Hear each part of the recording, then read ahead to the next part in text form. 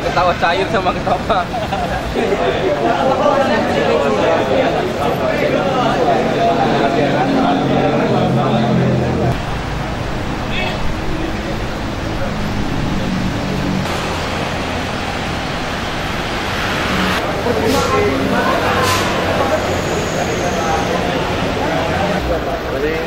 Eh, siap. Jadi, eh, nah, nah. aku tidur tadi. Iya. Baru tidur. Terus Yang hari ini di mana KSP Muldoko mengajukan PK untuk kembali mengganggu partai kami, untuk mencuri partai kami. Bersama dengan surat permohonan perlindungan yang kami sampaikan kepada Mahkamah, Mahkamah Agung ini kami juga menyampaikan perlindungan kepada Bapak Presiden Jokowi. Karena Pak KSP Muldoko ini kan pembantunya Pak Jokowi.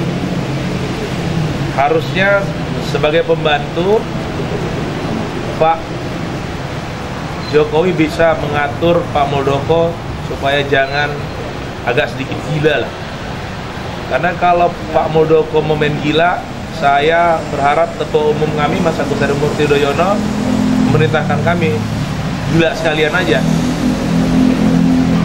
Harapan saya nanti pada waktu halal din halal di Istana Negara, kalau Mas Agus Harimurti Yudhoyono diundang oleh Presiden Republik Indonesia, Mas Agus Harimurti bisa memerintahkan kami dari Sumatera Utara untuk ikut menghadirinya. Kami mau nanya sama Pak Jokowi, ini Pak Muldoko ini anak buahnya bukan? Bisa diatur nggak? Sementara DPC kami ada 500-an, hari ini serentak menyerahkan permohonan perlindungan hukum.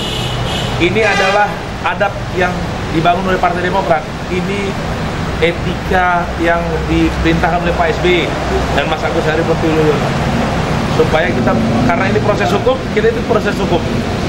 Nanti kalau urusan politik, ya kita juga main politik. Meskipun di Tenggarai, ya kawan-kawan media juga tahu lah, masyarakat Indonesia, khususnya Sumatera Utara tahu.